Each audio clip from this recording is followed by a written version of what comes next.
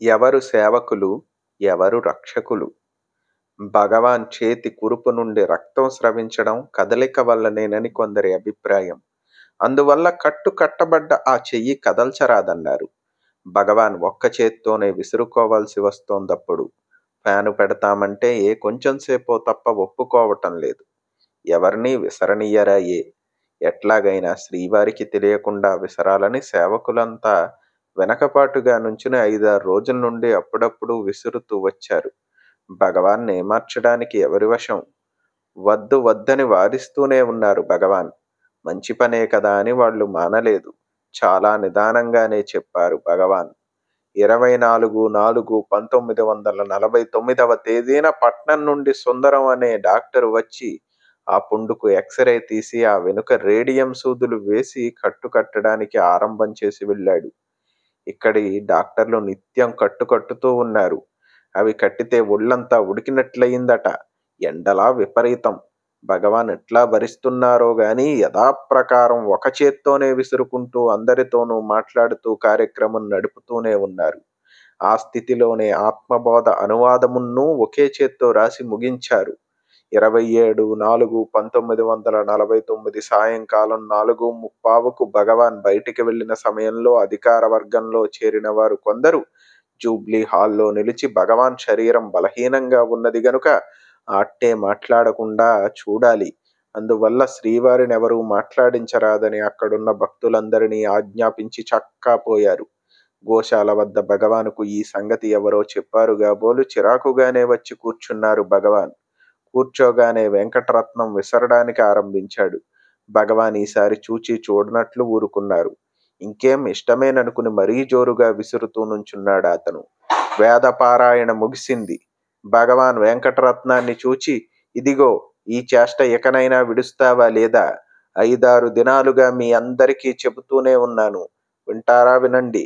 లేకుంటే ఇక ముందు ఏదీ చెప్పను. ఎవరు గాని రెండు మూడు సార్లు చెప్పి చూస్తాను. వింటారా సరే?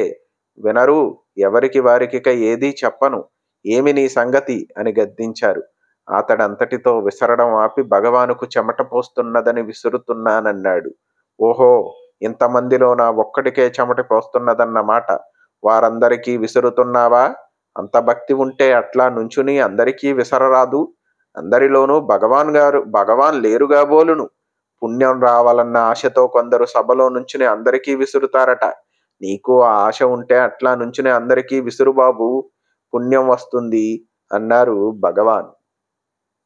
ఇంతలో ఇంటికి వద్దామని లేచా నేను. భగవాన్ చూచి ఇదిగో చూడు వీడి చేష్టలు రోజు వద్దని చెబుతూనే ఉన్నాను. వినడు వాడి ఇష్ట ప్రకారం నేనుండాలన్నమాట ఒక్కొక్కరికి ఇదే అభిప్రాయం.